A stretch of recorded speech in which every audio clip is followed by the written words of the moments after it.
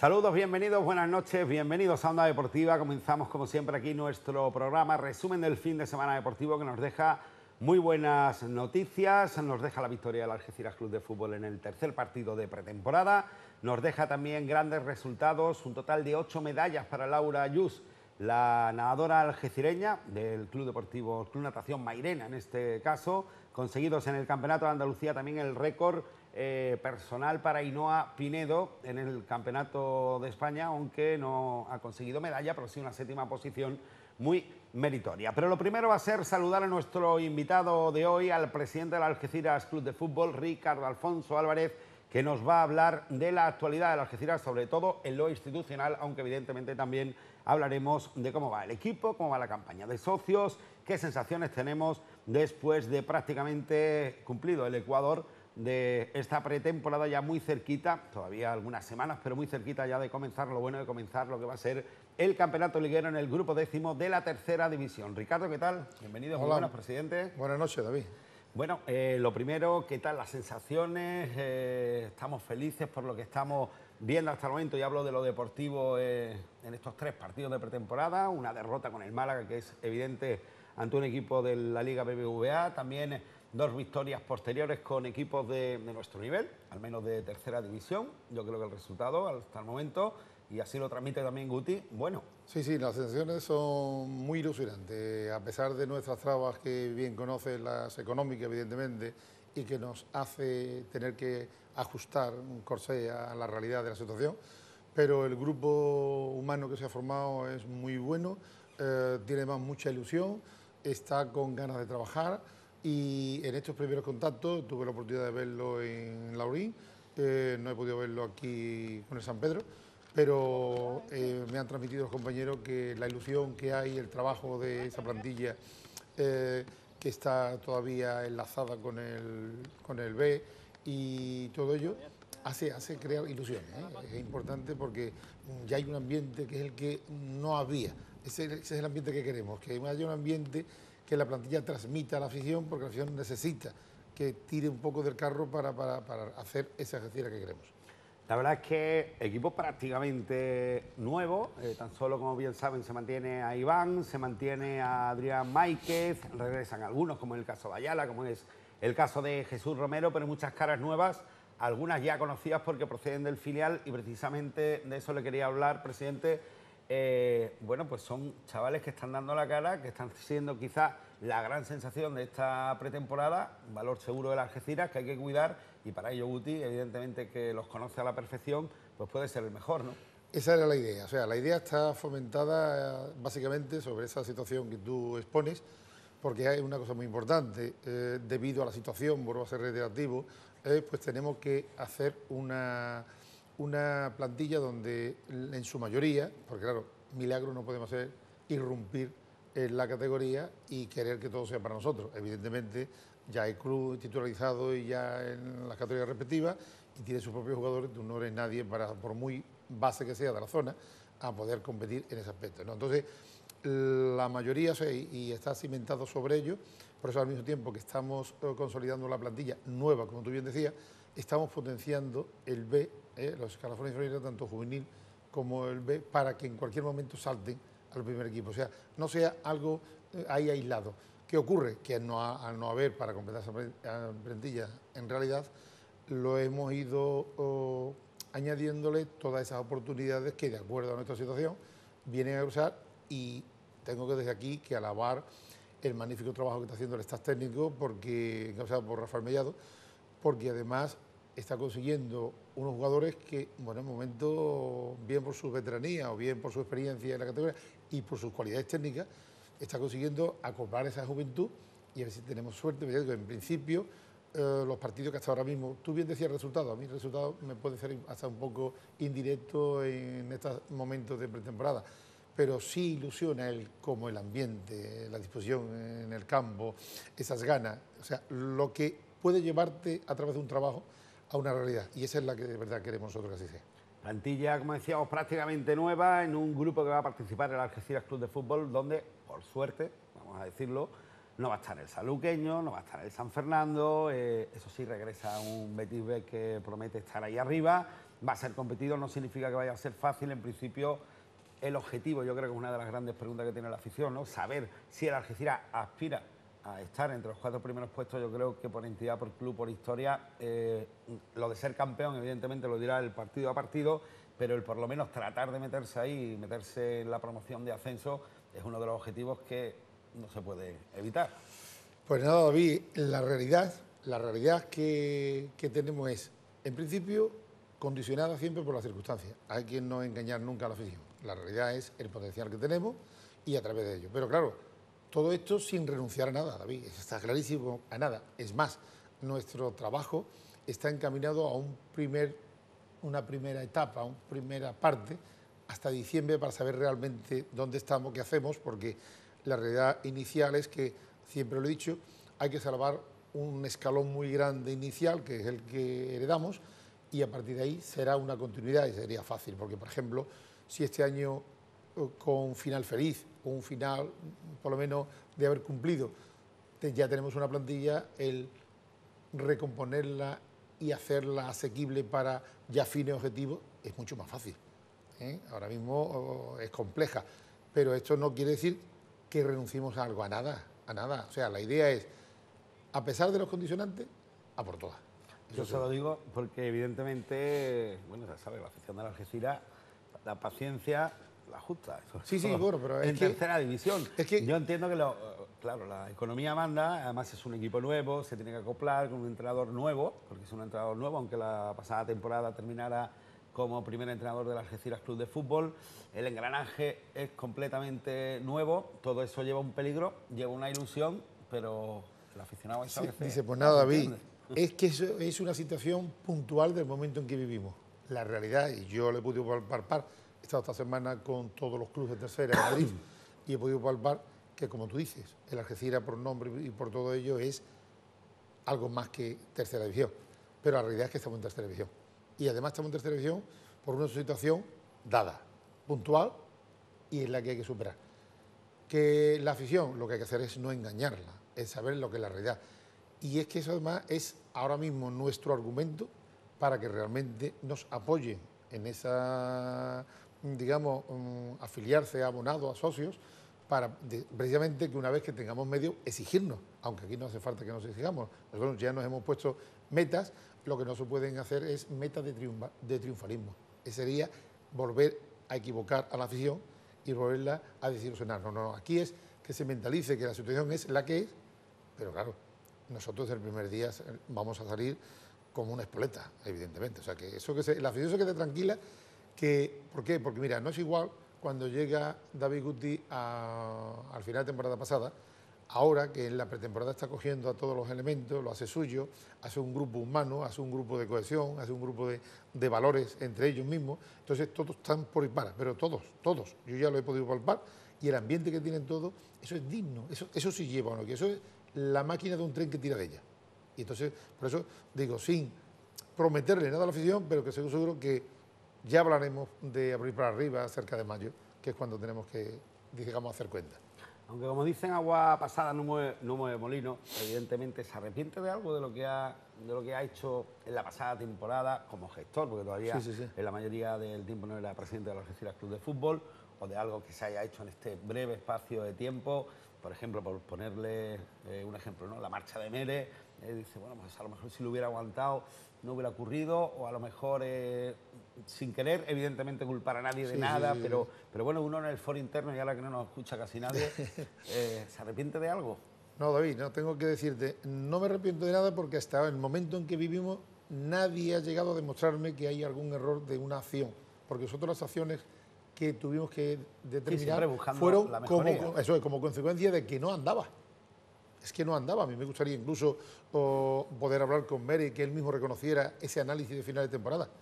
Lo que ocurre que, claro, mm, yo esperaba una respuesta del vestuario que no la tuve, tengo que decirle que no la tuve.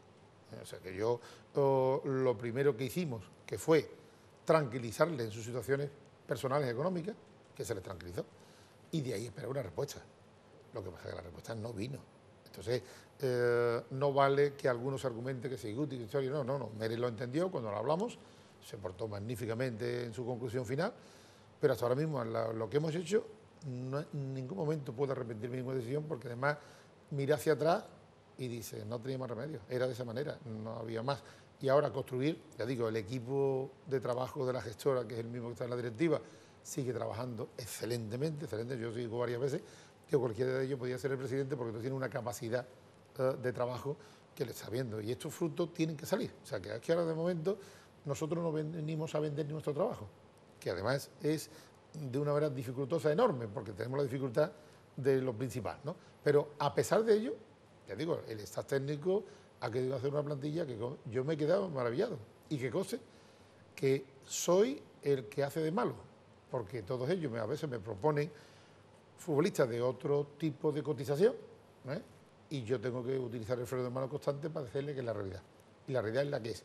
Y es que es la única manera que nos llevaría a no equivocarnos. A no volver a vivir capítulos pasados. Eso es, a ver si por lo menos en esta legislatura somos capaces de evitar aquel equipo ascensor de Valle Arriba que es el que traumatiza a la afición y el que hace que la afición se sienta desilusionada y, y casi engañada. Bueno, pues pasamos ese capítulo de, la historia, una breve pincelada también por lo ocurrido el año pasado, pero tenemos que hablar de presente, hay que hablar de, de Algeciras, hay que hablar de abonados, creo que son ya 500, eh, Ricardo, eh, o algo más, alguno más, se van sumando evidentemente con la disputa del Trofeo Mancomunidad, con la disputa del Trofeo Virgen de la Palma, pues se esperan eh, que haya eh, todavía un mayor número de, abonados o socios que se sigan sumando al proyecto. Estamos sobre los previstos, los números previstos, aunque en principio parece que son 1.500 y andamos a un tercio o algo más de un tercio.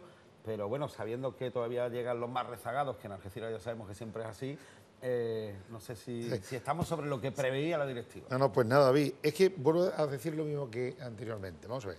Nosotros, en la, a esta fecha, prácticamente nunca se ha tenido el número de abonados que ya tenemos.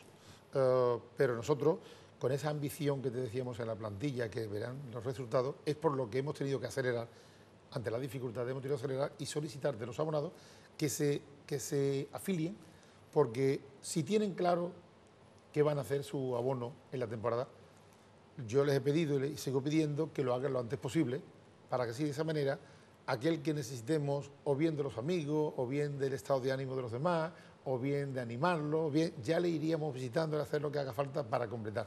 Tú has dicho 1.500, ese es un reto además bastante grande, pero igual que los resultados, si son 1.700 tampoco me voy a, a, rajar las vestiduras, o sea que estamos abiertos, pero claro, un club se hace grande si tiene una afición grande. Y entonces yo quiero transmitir en la afición que hay que olvidarse, como tú bien decías hace un momentito, del pasado, eh, vivir el presente, pero el presente hay que construirlo trabajando. ¿Entiendes? Entonces, nosotros, por ejemplo, ya los mismos directivos están paseándose por los comercios, haciendo directamente una, labor boca a boca para hacer ya el comercio simpatizante, eh, las empresas, más de 100 que llevamos eh, visitadas, y todos son proyectos, pero claro, proyectos no no es a corto de hoy, porque lo primero que tenemos que hacer es barrer muy bien, muy bien nuestra casa. Entonces, es ilusionante incluso hasta para la afición.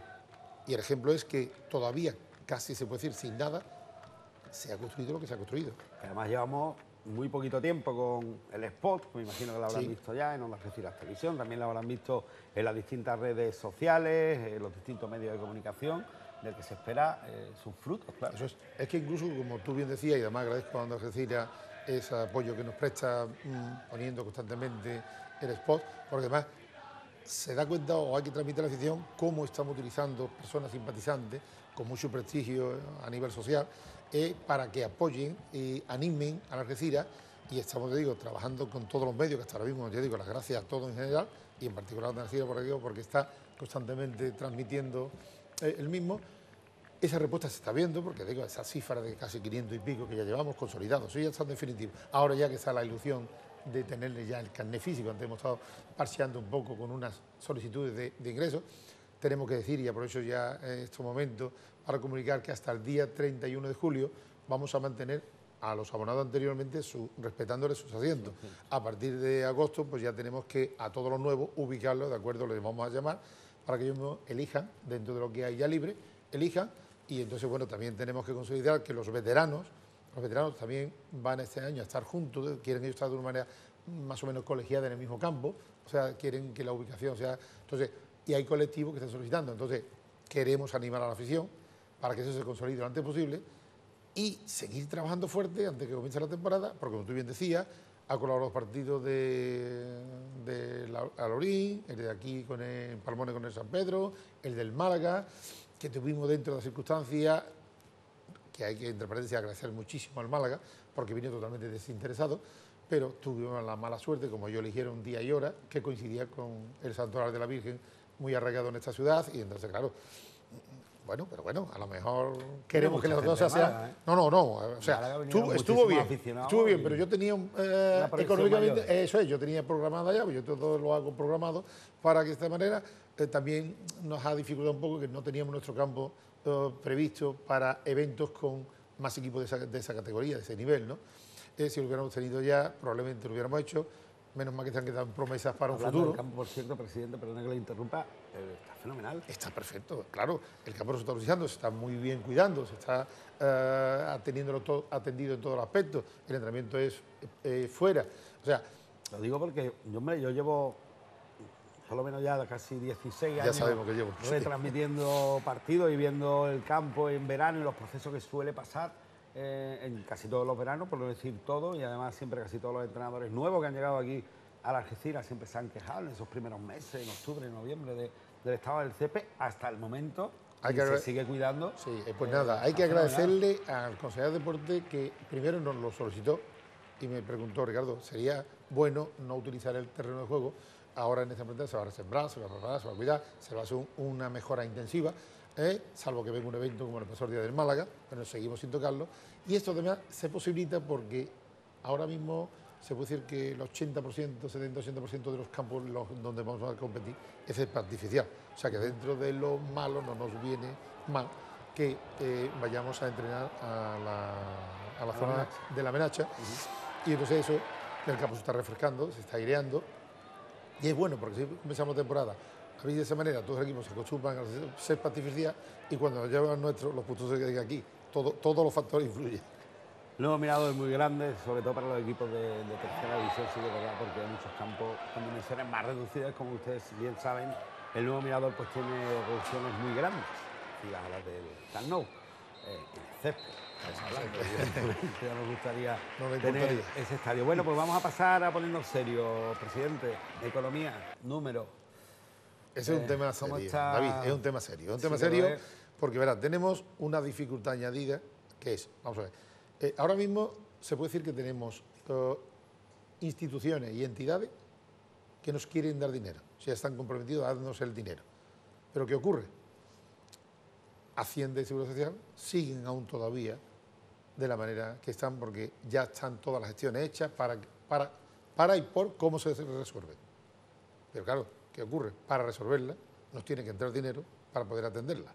Por eso hemos acudido a lo más fácil, pero que es la única vía, porque no hay otra, es la de los socios abonados, que lo hagan lo antes posible, porque nada más que lo hagan, vamos a, entre comillas, a hipotecar ese dinero que es ya de la plantilla de la temporada, lo vamos a hipotecar en resolver esas cosas importantes. Pero claro, son cosas importantes que nos facilitan ya la entrada fácil y oficial de todo el evento. Entonces, bueno, vamos a ver, en principio la directiva ya hemos todavía aún no, o sea, no ha resuelto todo lo que tuvo que aportar para resolver lo de los jugadores, que era lo más fundamental importante para que el club no se fuera todavía más abajo. Después han aparecido otras situaciones que las vamos resolviendo, pero estas dos institucionales son fundamentales. Por ejemplo, exactamente.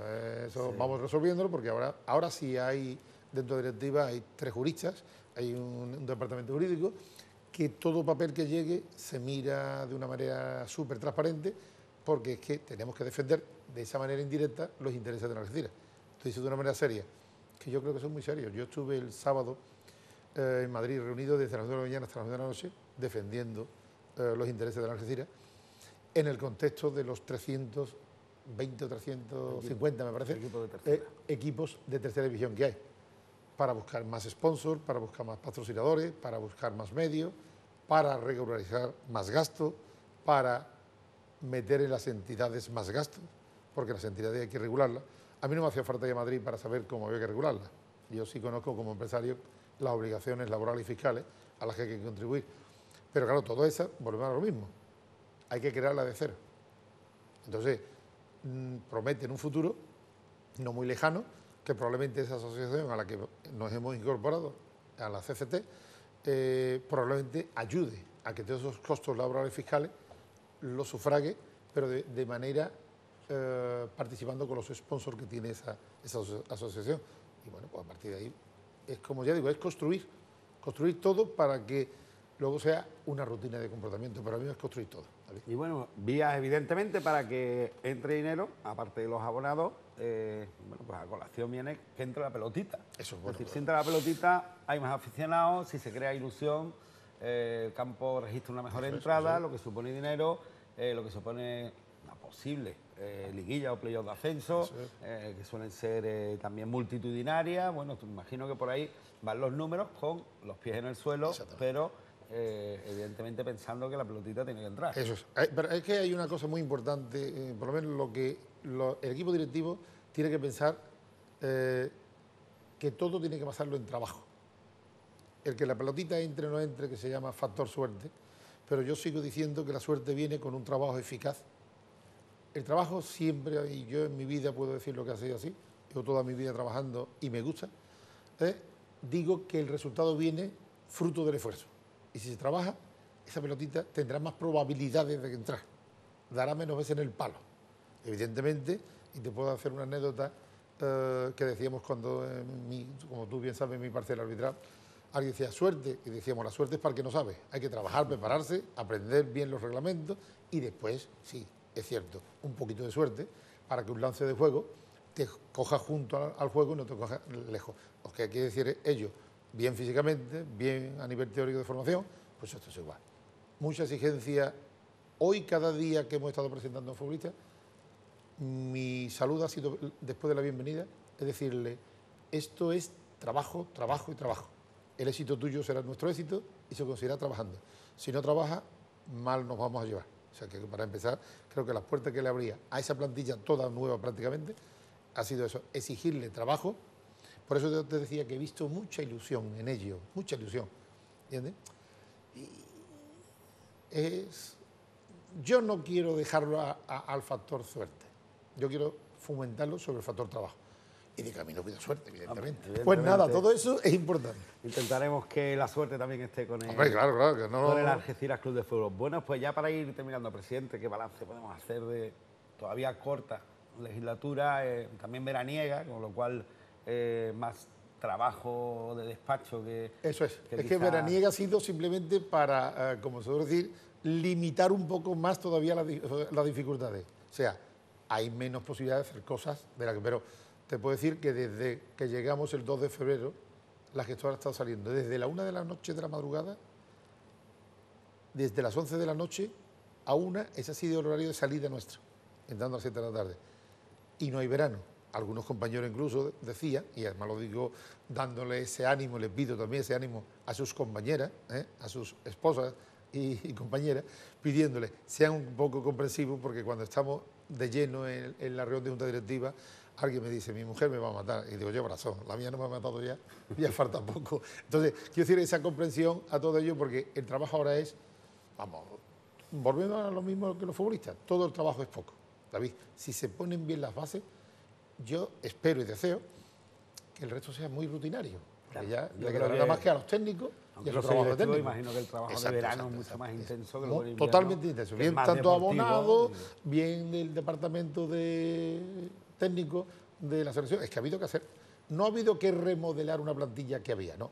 Ha sido construir una plantilla totalmente. Eso me consta que el trabajo es maravilloso y además lo han hecho, porque digo, siempre con mi freno de mano, porque yo le he hecho ver la realidad. Señores, no vale engañarnos, decir que hacemos algo que luego presupuestariamente no podamos cumplir y entonces es cuando venimos otra vez a hacer más de lo mismo. No, conmigo es más de lo mismo, no. Y si alguien llega, y además siempre está, desde el primer día lo digo, si alguien llega o quiere llegar con una gran cantidad, fajo grande de billetes para hacerlo de otra manera, ¿eh?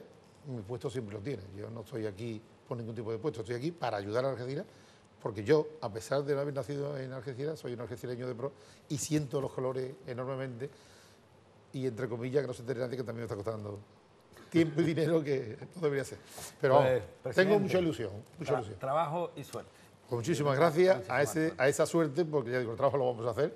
Y gracias, vuelvo a reiterar, a los medios de comunicación, en particular a esta casa, eh, el magnífico trabajo que hacen, porque ya digo, la Algeciras es de todo al final. Y seguro que hasta efectos de información, si estamos en mejor categoría, también hay más calidad de información. ¿Verdad que sí?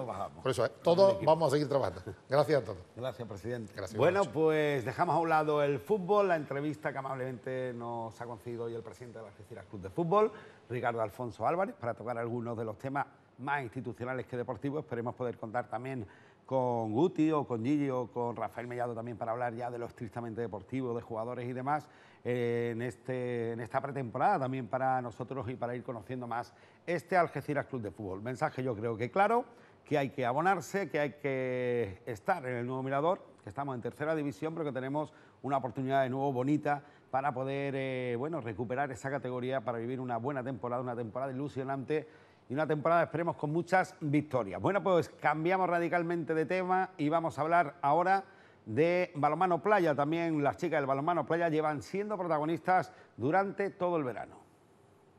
Las gatas del Playa Algeciras vencieron al Club Deportivo Gesta Sur de Getafe tras mostrarse muy firmes, como en el resto de la última prueba, con puntos en juego para el ranking general del Tour Nacional que se celebró en las playas de Valencia. Asun Batista asumió la responsabilidad y con Cris Torneo cuajando paradas de mérito. El club algecireño disparó su ventaja hasta los 10 puntos cuando se habían disputado 6 minutos de juego antes de que el brazo de Gloria Blancafort aproximara a las madrileñas. Cuando más apretaba el Getafe, el tiempo muerto Algeciras permitió a las andaluzas mantener la firmeza en los últimos comparses para anotarse con contundencia el primer set. En el segundo set, Algeciras asumió las riendas en el comienzo.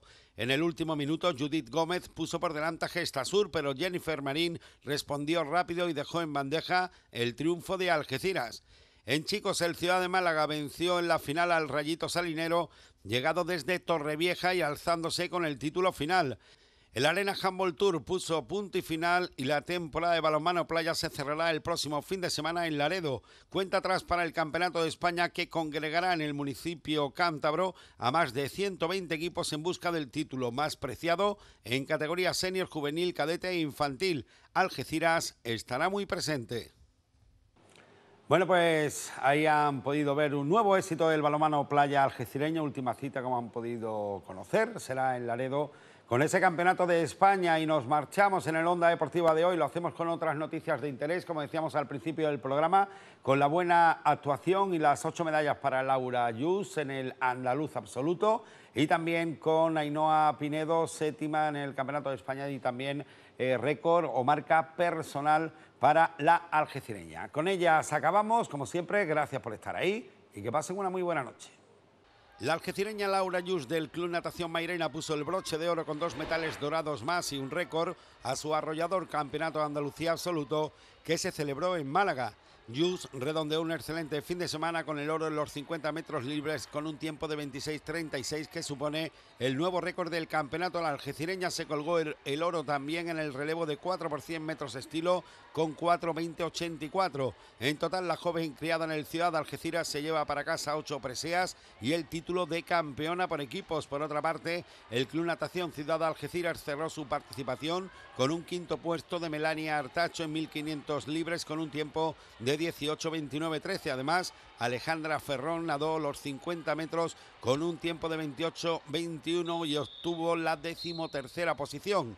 Sandra Mateos del Club Natación Los Barrios se despidió con una meritoria decimosexta plaza en los 50 metros mariposa, merced a una marca de 30-42.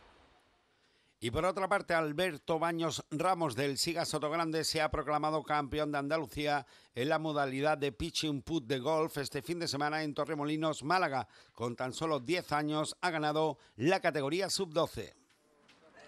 Y se acaba la larga temporada con un séptimo puesto para Inoa Pinedo en el Campeonato de España, una prueba de atletismo de nivel donde se ha batido el récord de España y las medallas han sido para las tres atletas olímpicas. Se cierra el año para Inoa con marca personal. Y el equipo Andalucía Nature Hotel María Luisa de Algeciras ha participado este fin de semana en la tradicional subida a Istán dentro de las 24 horas deportivas de la localidad. Carrera de solo pero muy intensos 11 kilómetros con salida desde Marbella y meta en las calles de Istán. Juan Matorres, el mejor clasificado del conjunto algecireño con un importante segundo puesto en la categoría sub-23.